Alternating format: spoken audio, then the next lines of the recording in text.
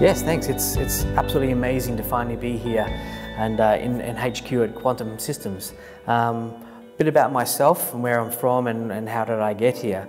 Uh, I'm originally from Australia, um, don't hold that against me, but uh, my history really spans, which is I think is quite exciting, since 94 as a cartographic draftsman, where I learned to draft and then I was a surveyor for quite a while as well. Uh, I moved to Ireland during that time. And then I got the ability to become a distributor for surveying equipment for Trimble Distributor. Um, so that gave me hands-on experience of being in the field and using equipment and being that, that end user to being a distributor selling those solutions. And then I got the opportunity to move to a drone company, which is super exciting for me, being SenseFly, the market leaders in small fixed-wing UAS systems in Switzerland. Lived there for eight years and really worked around drones and how that changed the industry.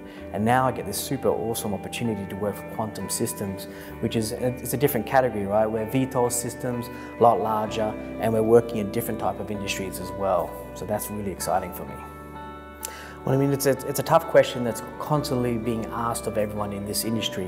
Where's the biggest growth? Where's the market? Uh, and it is hard. It's very much like um, the mapping and GIS industry when, when devices were coming out there. There's, there's, there's a mass amount of verticals and areas where mapping drones and technology drones and VTOL drones can be used. Uh, and it's always a challenge to find that right spot. Um, but VTOL's technology, I think, is, is a game changer out there. Uh, and being able to bring this type of technology even easier to non-technical people. And I think that's, that's, that's critical. We need to be able to address different markets that don't normally work with this type of technology. So not the surveyors, not the engineers, but other people in conservation. It could be rail line inspection. It could be many things out there.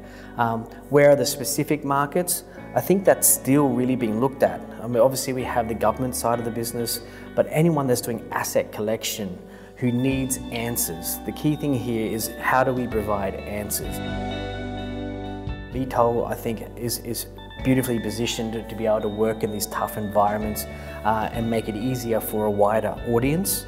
Um, but ultimately, we need to be able to provide people with answers. So be able to get this technology out there, find out what they need, what is their problem that we can solve, and then make sure that we're providing that solution for them. Yeah, is, is cargo drones a one-hit wonder? Uh, I don't think so. If you asked me a couple of years ago, maybe.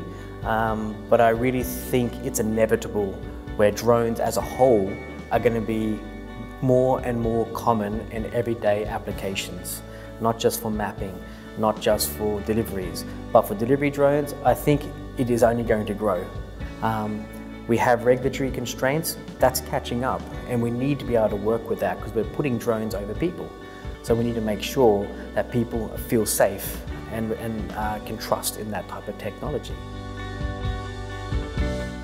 Well, I'm, I'm, only just joining the company, so I've got to get my fingers dirty a little bit uh, to understand exactly what, what we can bring to the market here. But what I see is enthusiasm and vision from the front.